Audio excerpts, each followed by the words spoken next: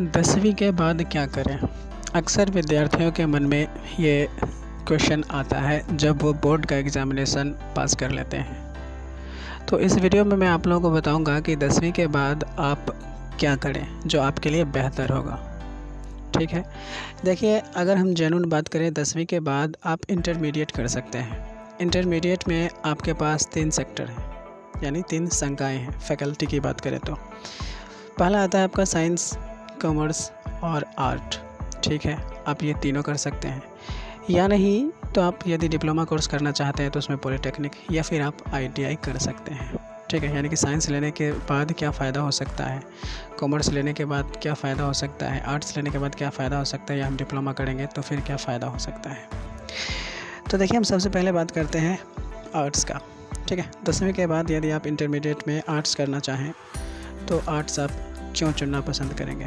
देखिए, अक्सर होता है क्या है कि आर्ट्स विषय को आमतौर पर बहुत सारे लोग नापसंद करते हैं, क्योंकि हमारे मन में यह भावना बैठ जाती है कि आर्ट्स विषय वह बच्चे लेते हैं जो पढ़ने में काफ़ी कमज़ोर होते हैं और इसका कोई स्कोप नहीं होता है। लेकिन मैं आपकी जानकारी के लिए बता दूँ, आर्ट्स काफ़ी महत्वपूर्ण सब्जेक्ट है, क्योंकि आप किसी भी प्रशासनिक सेवा की बात करें, जैसे P C S P S C U P S C या फिर अन्य विभिन्न प्रकार के जो भी सिविल सर्विसेज़ एग्ज़ामिनेशन होती हैं उसमें आर्ट्स सब्जेक्ट का काफ़ी बड़ा एडवांटेज होता है और यहाँ से काफ़ी बड़े मात्रा में प्रश्न पूछे जाते हैं। तो यह सब्जेक्ट उन सभी विद्यार्थियों के लिए काफ़ी महत्वपूर्ण होगा जो प्रशासनिक सेवा में जाना पसंद करते हैं जैसे आईएएस बनना चाहते हैं बीडीओ, सीडीपीओ, सीईओ या विभिन्न प्रकार के जो प्रशासनिक पद हैं उन पर जाना चाहते हैं तो आर्ट्स सब्जेक्ट को प्रेफर कर सकते हैं। लेकिन हमारे यहाँ क्या होता है ना कि सोचते हैं कि अरे यार, मेरा फ्रेंड जो है वो साइंस ले रहा है। मेरे को भी साइंस लेना चाहिए। नहीं तो मेरा जो है वैल्यू थोड़ा कम हो जाएगा। लेकिन मेरे दोस्त, मैं बता दूँ वैल्यू इससे नहीं घटती है। वैल्यू घटेगी तब जब आप अपनी पसंद का सब्जेक्ट छोड़ करके दूसरे सेक्टर में जाएँगे। और दूसरे सेक्टर में जाएँगे तो आपको मन नहीं लगेगा और वो चीज़ आप अच्छे से कंप्लीट नहीं कर पाओगे। तो इसलिए जो पेपर आपका स्ट्रॉन्ग है, जिस सेक्टर में आपके जाने का मन है, उस सेक्टर में जाइए। दुनिया क्या कहती है, इसका परवाह मत कीजिए, क्योंकि दुनिया ऐसी है कि आप अच्छा करो तो भी टांग खींचेगी और बुरा करो तो भी टांग खींचेगी। ठीक है तो आर्ट्स सब्जेक्ट की बात करें तो आर्ट्स में आपको कौन कौन से विषय लेने होंगे? ठीक है तो यदि आप पीसीएस वगैरह का तैयारी करना चाहते हैं तो उसके लिए मैं सजेस्ट करूँगा आप लोगों को कौन कौन से विषय वो देखें सबसे पहले हम हिस्ट्री की बात करते हैं। हिस्ट्री आपको लेना चाहिए, ठीक है? क्यों लेना चाहिए? क्योंकि हिस्ट्री एक ऐसा विषय है जिसमें आपको पुराने समय के बारे में जानकारी मिलती है। जैसे हमारी भारतीय संस्कृति कैसी थी? या विकास कैसे हुआ हमारा? क्या संघर्ष करना पड़ा? आदि मानव या फिर और अनेक सभ्यताएँ तथा भारत की स्थिति, स्वतंत्रता संग्राम इत्यादि, इन सभी के बारे में जानकारी मिलती है। दूसरा सब्जेक्ट आता है भूगोल, यानी ज्योग्राफी देखिए ज्योग्राफी जो है काफ़ी इंटरेस्टिंग सब्जेक्ट है, क्योंकि इस विषय में हमें पृथ्वी, ग्रह, उपग्रह, भूकंप सुनामी सूर्य ग्रहण चंद्र ग्रहण पूर्णिमा अक्षांश देशांतर, जलवायु, वन, ब्रह्मांड की संरचनाएँ और भी अनेक विषयों के बारे में जानकारी मिलती है। ठीक है? और तीसरा आपका आता है पॉलिटिकल साइंस यानी कि राजनीतिक विज्ञान। यह हमारे लिए काफ़ी इम्पोर्टेंट है पॉलिटिकल साइंस क्योंकि यदि आप पॉलिटिकल साइंस लेते हैं तो पॉलिटिकल साइंस में हमें संविधान के हर एक अनुच्छेद, भाग और अनुसूची में वर्णित विभिन्न प्रकार की सूचनाओं की जानकारी मिलती है। जैसे, भारत की स्थिति के बारे में जानकारी मिलती है। हम भारत के नागरिक हैं तो कैसे आखिर क्या आधार है, यानी नागरिकता के बारे में जानकारी मिलती है। मूल अधिकार मूल अधिकार कहने का मतलब हमारा क्या अधिकार है? अगर हमारे अधिकारों का कोई हनन करता है तो फिर हम उसके लिए क्या कर सकते हैं? ये सारी बातें, या फिर मौलिक कर्तव्य, इन सभी चीज़ों के बारे में जानकारी मिलती है आपका पॉलिटिकल साइंस से। ठीक है? तो ये तीन पेपर आपको कम से कम लेने चाहिए इंटरमीडिएट में। मेरे ख्याल से यदि आप सिविल सर्विसेज़ की तैयारी करना चाहते हैं तो क्योंकि इन तीन सेक्टर से आपके एग्जामिनेशन में मैक्सिमम क्वेश्चन भर भर के क्वेश्चन पूछे जाते हैं। उसके बाद आप ले सकते हैं इकोनॉमिक्स इकोनॉमिक्स में क्या होता है? तो इस सब्जेक्ट में आपको भारत के economic goods and service cell से संबंधित मुद्रा, व्यवसाय और उद्योग के संगठन रीतियों के सिद्धांत की जानकारी दी जाती है। ठीक है? पांचवा सब्जेक्ट मनोविज्ञान, यानी कि साइकोलॉजी इस सब्जेक्ट में आपको मनुष्य के दिमाग और उनके बिहेवियर के बारे में अच्छे से जानकारी दी जाती है, कि आप किसी भी व्यक्ति के विभिन्न पहलुओं को देखते हुए उनके बारे में जान सकें। ठीक है? छठा विषय के रूप में आप ले सकते हैं इंग्लिश इंग्लिश देखिए, ये भी है काफ़ी महत्वपूर्ण सब्जेक्ट क्योंकि आप किसी भी सेक्टर में जाते हैं तो उस सेक्टर में इंग्लिश का काफ़ी महत्वपूर्ण योगदान होता है। यदि आप इंग्लिश बोलना जानते हैं तो किसी के सामने अगर बोलते हैं तो वो आपसे इम्प्रेस हो जाएगा। या फिर और भी बहुत सारी चीज़ें होती हैं यदि आप, आपको इंग्लिश भाषा आती है तो। ठीक है? और अगर नहीं आती है तो ये विषय आपको लेना चाहिए और सीखना चाहिए। इंग्लिश में मेनली जो होता है वो ग्रामर पर फोकस किया जाता है। ठीक है? और स्पोकन या फिर लिटरेचर की भी जानकारी दी जाती है। अब अगर बात करें तो आर्ट्स में आप संस्कृत भी ले सकते हैं। ये एक भाषा विषय है और यदि आप संस्कृत भाषा सीखना चाहते हैं तो आप इसे ले सकते हैं। और मेरा सलाह रहेगा कि आप ना ही लें तो बेहतर होगा। समाज शास्त्र की बात करें आठवां पेपर के रूप में आप ले सकते हैं इसको। क्योंकि यह एक ऐसा विषय है जिसके अंतर्गत हमें सोसाइटी से संबंधित, यानी समाज सेवा के बारे में पढ़ाया जाता है। और नवा सब्जेक्ट क्या हो जाएगा?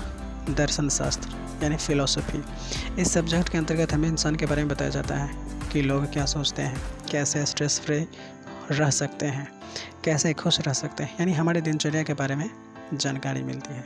तो ये रही आर्ट्स की बात कि आप आर्ट्स पेपर में कौन कौन से सब्जेक्ट को चूज़ कर सकते हैं और आर्ट्स पेपर आपको क्यों लेना चाहिए। मैं एक बार रिकॉल कर देता हूँ। मैट्रिक के बाद यदि आप आर्ट्स पेपर लेना चाहते हैं तो लीजिए। ख़राब पेपर नहीं है, काफ़ी बढ़िया पेपर है ये, ठीक है?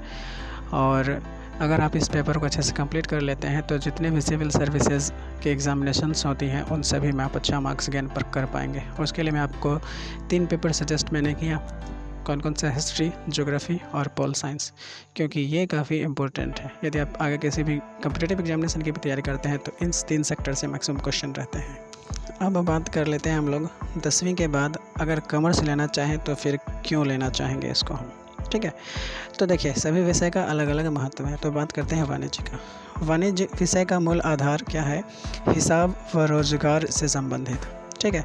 यानी कि हिसाब व रोज़गार में फ़ायदेमंद का आसार के रूप में इस सब्जेक्ट को जाना जाता है। इस विषय को पढ़ने के बाद आप आसानी से किसी भी व्यवसाय, कंपनी व दुकान के बैलेंस शीट व बाज़ार के उतार चढ़ाव को समझ सकते हैं। ठीक है। अगर बात करें कि इसमें कौन कौन से पेपर आते हैं तो सबसे पहला पेपर आता है अकाउंटेंसी का। अकाउंटेंसी में क्या होता है तो इसके अंतर्गत आपको अकाउंट से संबंधित हिसाब किताब सिखाया जाता है। जैसे बिज़नेस अकाउंट में पैसा जमा करना और निकालना, इत्यादि। दूसरा पेपर क्या होता है इकोनॉमिक्स ठीक है। इकोनॉमिक्स में क्या होता है, इसके अंतर्गत आपको भारत के इकोनॉमिक्स यानी गुड्स एंड सर्विस सेल से संबंधित जानकारी दी जाती है। ठीक है। थर्ड पेपर के रूप में आता है बिज़नेस स्टडी ठीक है? इस सब्जेक्ट में आपको बिज़नेस के बारे में पढ़ा जाता है कि कैसे बिज़नेस की जाती है, आप बिज़नेस को कैसे ग्रो कर सकते हैं, या बिज़नेस से संबंधित जितने भी पहलुएँ होती हैं क्या क्या चीज़ की ज़रूरत होती है, उन सभी चीज़ों के बारे में बिज़नेस स्टडी में बताया जाता है। यानी इसमें यूँ कहें कि बिज़नेस स्टडी में बिज़नेस प्लान बताया जाता है। ठीक है? कॉमर्स में आप फोर्थ पेपर के रूप में मैथमेटिक्स को भी ले सकते हैं, क्योंकि मैथमेटिक्स एक ऐसा विषय जिसके अंतर्गत आपको विभिन्न प्रकार के गणना के बारे में स्टडी कराया जाता है, ठीक है? और फिफ्थ पेपर के रूप में आप इंग्लिश को ले सकते हैं, ठीक है? मैंने पहले ही बताया था इंग्लिश क्या है? काफ़ी इंपॉर्टेंट पेपर है, ठीक है? तो ये हो गया कॉमर्स की बात। अब बात करते हैं कि यदि आप दसवीं के बाद साइंस लेना चाहते हैं तो फिर क्यों लेना चाहते हैं? और ये जो साइंस पेपर है, वैसे भी मैक्सिमम स्टूडेंट पसंद करते हैं। जो पढ़ने में काफ़ी इंटेलिजेंट होते हैं, वो साइंस लेना पसंद करते हैं। लेकिन मैं आपको बता दूँ कि आप साइंस लेना चाहते हैं तो आप किस किस सेक्टर में जा सकते हैं? तो देखिए, दसवीं के बाद यदि आप साइंस लेना चाहते हैं तो आप दो क्षेत्र में जा सकते हैं। पहला क्षेत्र तो हो गया मेडिकल और दूसरा हो गया नॉन मेडिकल यदि आप मेडिकल के क्षेत्र में जाना चाहते हैं तो उसके लिए आपको बायोलॉजी को मेन विषय के रूप में लेना पड़ेगा। और यदि नॉन मेडिकल के क्षेत्र में जाना चाहते हैं, यानी इंजीनियरिंग के क्षेत्र में तो आपको गणित को मेन विषय के रूप में लेना पड़ेगा। अब बताते हैं कि विज्ञान के अंतर्गत कौन कौन से विषय आते हैं तो चलिए हम उसको देख लेते हैं। विज्ञान के अंतर्गत सबसे पहला सब्जेक्ट आता है फिजिक्स तो फिजिक्स के अंतर्गत विभिन्न प्रकार के पदार्थ, गति और ऊर्जा के बारे में स्टडी कराई जाती है। ठीक है। दूसरा पेपर आता है केमिस्ट्री यानी रसायन शास्त्र इसके अंतर्गत विभिन्न प्रकार के रासायनिक पदार्थ, पदार्थों की प्रकृति कार्बनिक और अकार्बनिक पदार्थों के बारे में जानकारी मिलती है। तीसरा पेपर आता है आपका जीव विज्ञान। तो इसके अंतर्गत विभिन्न प्रकार के जीव, जंतु, वातावरण और इनके संबंधित जितने भी चीज़ें होती हैं, उन सभी के बारे में स्टडी कराई जाती है। फोर्थ पेपर आप गणित के रूप में ले सकते हैं। गणित क्या है? तो इसके अंतर्गत आपको गणना के बारे में बताया जाएगा। फोर्थ पेपर के रूप में आप कंप्यूटर साइंस ले सकते हैं। कंप्यूटर साइंस काफ़ी बढ़िया पेपर है, ठीक है? देखिए, यदि आप कंप्यूटर साइंस लेते हैं तो इसके अंतर्गत आपको कंप्यूटर से संबंधित विभिन्न प्रकार की जानकारी दी जाएगी, ठीक है? जैसे सॉफ्टवेयर के बारे में हार्डवेयर के बारे में, या फिर आपको एप्लीकेशन डेवलपिंग के बारे में बताया जाएगा, ठीक है? और भी बहुत सारे ऐसी चीज़ें होती हैं इंटरनेट से संबंधित वो सारी चीज़ों का स्टडी कराया जाएगा। तो यह भी काफ़ी अच्छा सब्जेक्ट है। छठा पेपर के रूप में आप ले सकते हैं बायोटेक्नोलॉजी देखिए बायोटेक्नोलॉजी के अंतर्गत जो होता है ना, विशेष उत्पाद या पदार्थों को विकसित करने की जो प्रणाली होती है, वो बताई जाती है। ठीक है? तो आप तीन संकाय ले सकते हैं आप आर्ट्स कॉमर्स एंड साइंस ठीक है? अब देखिए, अगर मान लेते हैं कि आप चाहते हैं इन मैट्रिक के बाद आर्ट्स कॉमर्स साइंस ये तीनों में से कोई ना लें तो आपके लिए एक और सेक्टर है, जिसे हम डिप्लोमा कोर्स कहते हैं। ठीक है? यदि आप दसवीं के बाद डिप्लोमा कोर्स करना चाहते हैं तो यह भी बेहतर सिलेक्शन है। क्योंकि यदि आप कोई भी डिप्लोमा कोर्स करते हैं तो इसके आधार पर आप कोई भी प्राइवेट या गवर्नमेंट जॉब कर सकते हैं। इन सभी में आपको जनरल कैटेगरी की अपेक्षा ज़्यादा प्राथमिकता दी जाएगी। ठीक है? अब देखिए, डिप्लोमा में आपको दो चीज़ कर सकते हैं, पॉलीटेक्निक। ठीक है? पॉलीटेक्निक क्या है कि दसवीं के बाद यदि आप कोई डिप्लोमा कोर्स करना चाहते हैं तो पॉलीटेक्निक कर सकते हैं, ठीक है? क्योंकि पॉलीटेक्निक कंप्लीट कर लेने के बाद आपको विभिन्न प्रकार के जो गवर्नमेंट या फिर प्राइवेट सेक्टर्स होते हैं, उसमें अच्छे वेतन के साथ आपकी नियुक्ति हो सकती है, ठीक है? क्योंकि वहाँ पर पॉलीटेक्निक वालों को प्राथमिकता दी जाती है। पॉलीटेक्निक में आप विभिन्न प्रकार के कोर्स कर सकते हैं, जैसे फ़ैशन डिज़ाइनिंग हो गया, computer, hardware, automobile, electrical, engineering या मैकेनिकल इंजीनियरिंग इत्यादि, ठीक है? और पॉलीटेक्निक करने के बाद आप डायरेक्ट जॉब ले सकते हैं, या फिर आप आगे बैचलर डिग्री की भी तैयारी कर सकते हैं। और यदि आईटीआई करना चाहते हैं तो आईटीआई भी कर सकते हैं। दसवीं के बाद यदि आप पॉलीटेक्निक नहीं करना चाहते हैं तो आईटीआई भी कर सकते हैं। आईटीआई यानी इंडस्ट्रियल ट्रेनिंग इंस्टीट्यूट, इसका पूरा नाम होता है। यदि आप आईटीआई करते हैं तो इससे भी क्या हो सकता है कि आपको अलग अलग सेक्टर में जॉब आसानी से मिल जाएँगे। आईटीआई करने से आपका जो प्राइवेट जॉब होता है वो आसानी से मिल जाएगा। और जो जनरल लोग होते हैं, उनसे ज़्यादा प्राथमिकता आपको दी जाएगी और आपकी सैलरी भी काफ़ी अच्छी खासी होगी। और अगर गवर्नमेंट की बात करें तो रेलवे में खास करके आईटीआई वालों के लिए काफ़ी अच्छा मौका होता है, क्योंकि अगर आपका, आपके पास आईटीआई का सर्टिफिकेट है तो रेलवे के एग्ज़ामिनेशन में आपका जो सिलेक्शन होता है वह कम मार्क्स पर ही हो जाता है।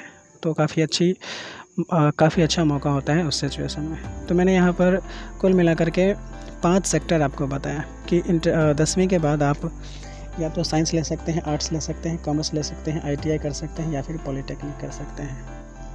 तो उम्मीद करते हैं कि वीडियो मैंने जितनी चीज़ें बताई वो आपके लिए हेल्पफुल रहा होगा। ठीक है, और जितने भी बोर्ड का एग्जामिनेशन इस बार पास किए हैं, दसवीं का एग्जामिनेशन इस बार पास किए हैं, उन सभी स्टूडेंट्स के पास इस वीडियो को शेयर कर दीजिए, ताकि सभी इस वीडियो को देख करके अपना जो आगे का सेक्टर है उसको चुन पाए। तो मिलते हैं अगले वीडियो में, तब तक के लिए धन्यवाद।